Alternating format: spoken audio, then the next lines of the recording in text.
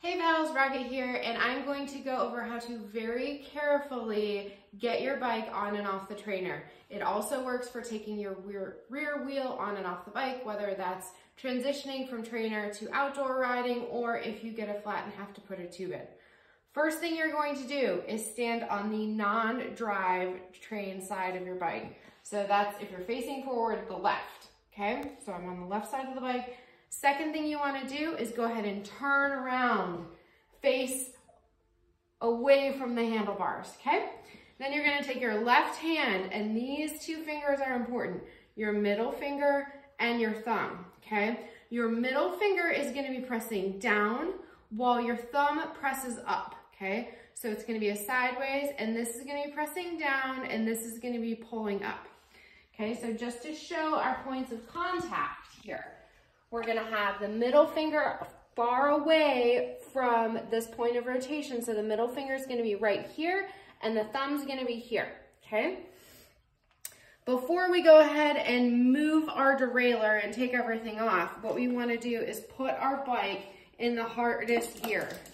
Okay, so we're moving it, that chain as far away from that rear wheel as possible. And what that's going to do is give us more room to work.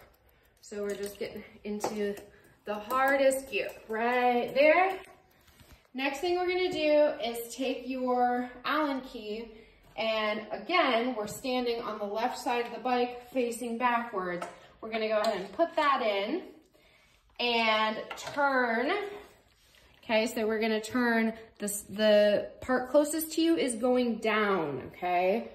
Down, not up, down. The part closest to you is going down. Okay, so we're just gonna go ahead and undo that way. So we got it all the way out. I like to keep this on my person. So it can be here, here. I don't like to have it on the ground because if I move around, it might be hard to reach. I don't have very long arms. So whenever I can, I like to keep these things on me, okay? The next thing you're gonna do is you're gonna take your hand and we're gonna be, again, facing away from the handlebars on the left side of the bike. The, th the middle finger is gonna push here. See that? And then the thumb is gonna go here and it's gonna be pulling up, okay?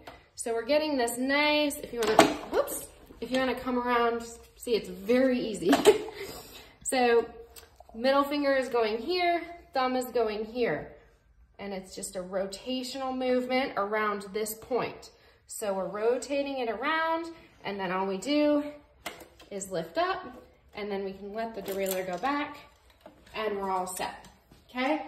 Same thing when we're putting the bike on, okay? We're standing on the left side of the bike, facing backwards.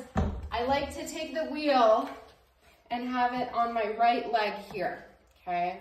So we have the wheel on the right leg. That way it's ready to go. Take the hand, again, middle finger pushing down, okay? I'm actually holding, I'm not sure if you can see, the saddle is resting on my left mid back, okay? So we take the derailleur, push down here, again, holding here with the thumb, and then we can just take this wheel and put it in between the chain there. See the chain? We want the wheel in between, and we can just wrap it around and let it come down. Take a look as we're coming down on the bike's left side. We wanna go right in between those calipers. And I'm controlling with my left hand the uncoiling of this derailleur, okay? So we're right in the middle. Of course, your front wheel is gonna jiggle around a little bit. So you can just pop it in then. And then look, your stuff is right here. It's not over there where we started.